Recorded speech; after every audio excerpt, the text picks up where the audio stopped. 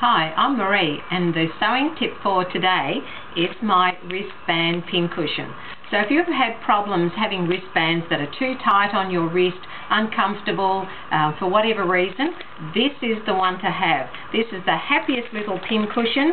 It has the little sunflower uh, face and it's a slap wristband cushion and this is the way that it's worn.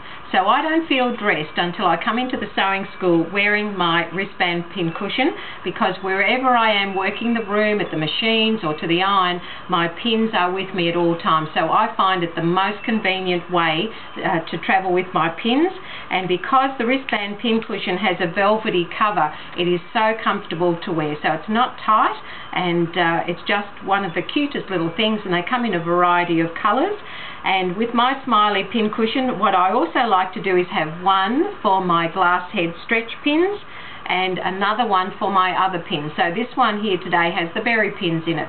So this way, depending on the fabric that I'm working with, so if it's woven tomorrow, that's the pin cushion I'm going to use, and if it's the stretch, this is the one that I'm going to use with my glass head pins.